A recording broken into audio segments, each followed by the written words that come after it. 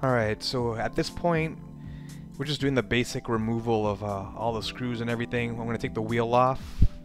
Uh, there's tons of videos out there, so I don't want to just have an entire video showing this. I'm going to get to the point where um, we're removing the at least the controller and the battery compartments. So if you don't know how to remove the wheel and all that other stuff, um, there's a bunch of other videos out there. I think I have some on my channel. Um, should be quick, but it's really easy. Just remove every single screw you see. how about that? Alright, let's move forward. Alright, so now at this point, we've pretty much got the wheel off, and we're going to continue moving forward here and uh, removing the foot pads and the bumpers. And then once we do that, we'll be able to slide the um, take the rest of the screws off and slide out the battery and the uh, controller compartments.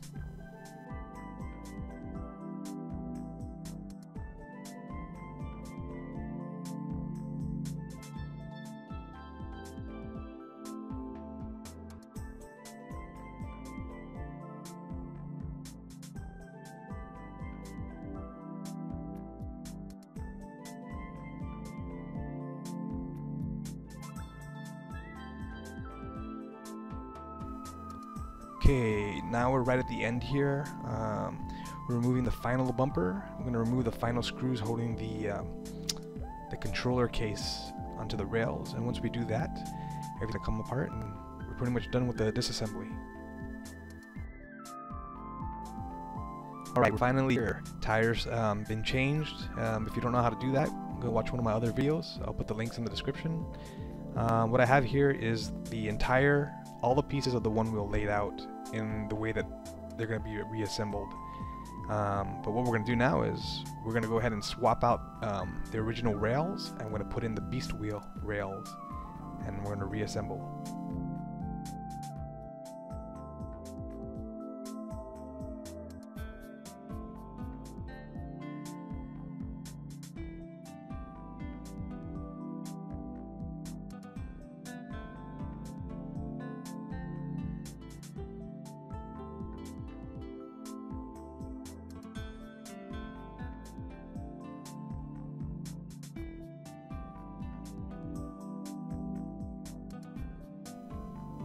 Now take note what's happening here. I've put all the screws in on the bottom, but I've made a mistake. Um, I'm going to realize this here in a moment when I flip the, the rails over and try to install the foot pads. Things aren't going to line up. So before you put the foot pads and you know tighten all the screws on the bottom of the rails, um, don't completely tighten them. Keep them fairly loose because you're going to need to shift things around. Otherwise things won't line up exactly. So um, put definitely put the screws in place. It's going to help you align everything, but don't tighten them because you're going to need to, you know, shift things a little bit here and there. And uh, if they're tight, you're not going to be able to do that. So keep it loose. Then once all the screws are in place, go back and tighten everything. I made that mistake, and uh, hopefully you don't do it. it. It'll cost you some time.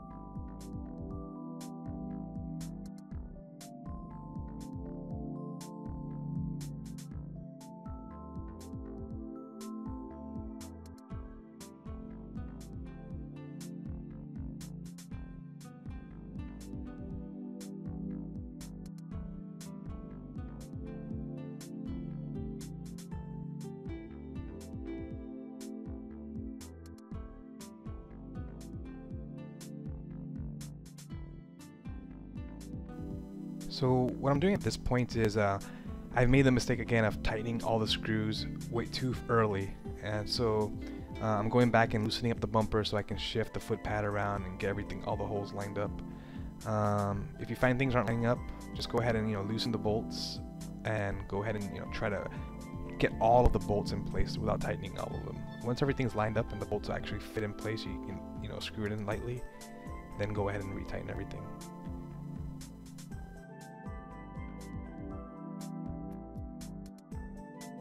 And now we're basically we're putting the tire back on.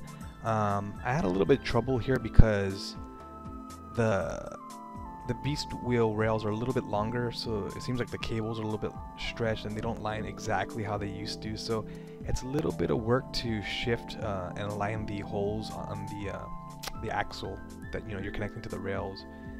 But it, it, all ultimately fits. It's just a little bit of work. It's, it's a little bit different. Um, I wasn't used to it. Um, but yeah, just, you know, take your time. Uh, make sure you don't tear the cables or anything. Just, you know, be gentle with it and uh, line the holes up and screw everything in.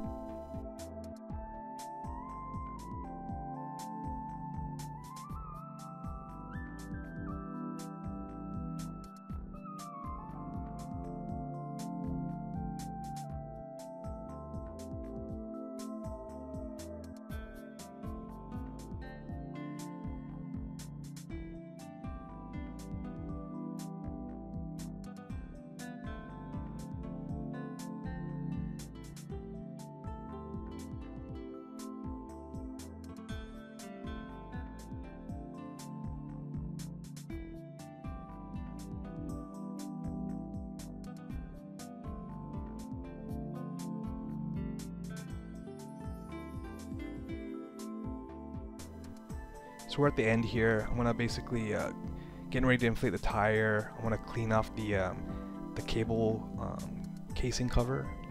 Um, but what, what's gonna happen here is the the cables are a little different now because the the wires are stretched out a little bit differently with the Beastwheels, and I noticed that the casing was a little bit harder to go on. It, it, it will go on ultimately here, you'll see, but it was a little bit um, it was just a little different. There was a little bit of resistance, um, but no concerns there. Just you know, take your time. Don't be too rough, and you know, screw everything back together.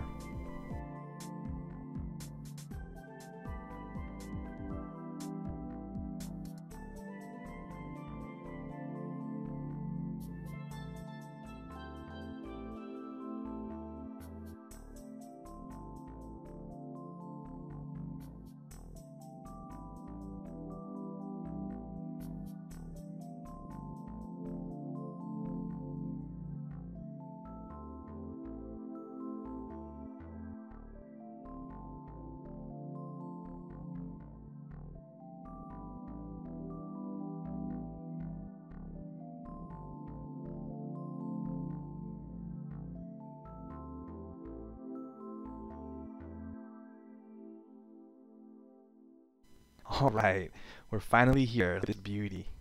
The aesthetics are really pleasing. Um, there's a good amount of space between the rails and the tire and the foot pads in the tire. You can actually probably fit about another good half inch to three quarters of an inch uh, larger diameter diameter tire. Anyways, um, glad I stuck it out and uh, man, can't wait to take the thing for a test ride. Let's go.